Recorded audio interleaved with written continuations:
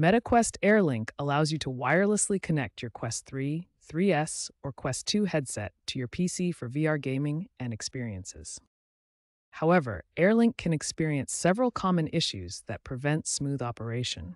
Connection failures are the most frequent problem, often caused by network configuration issues. Performance drops can occur due to insufficient bandwidth or hardware limitations. Compatibility errors may arise from outdated software or incorrect USB connections. Proper network setup is crucial for AirLink to function correctly. Your PC must be connected to your router via Ethernet cable for optimal performance. You must use a 5 GHz Wi Fi network with an 80 MHz channel width for sufficient bandwidth. Both your headset and PC need to be connected to the same network to communicate properly. When experiencing AirLink issues, start with these basic troubleshooting steps. First, restart both your headset and PC to clear any temporary connection issues. Update the Meta Quest Link app on your PC and ensure your graphics drivers are current. The MetaQuest Link app includes a troubleshooting tool that can help identify connection problems. If problems persist, temporarily disable firewalls to check if they're interfering with the connection. A common specific issue is the grayed out launch button in AirLink, which prevents you from starting the connection.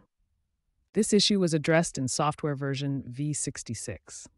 Ensure you have the latest Quest software update and restart your headset after updating. When basic troubleshooting fails, advanced solutions become necessary.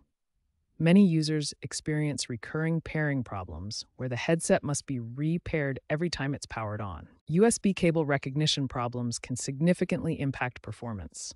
When your USB 3 cable is incorrectly recognized as USB 2, Data transfer speeds are severely limited, causing lag and poor video quality. For persistent wireless performance issues, setting up a dedicated router specifically for AirLink can dramatically improve your experience by minimizing latency and eliminating network interference from other devices.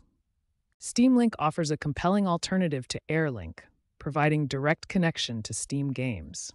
Many users report better performance and fewer connection issues when using Steam Link instead of Meta's AirLink solution. Wireless VR streaming demands significant processing power.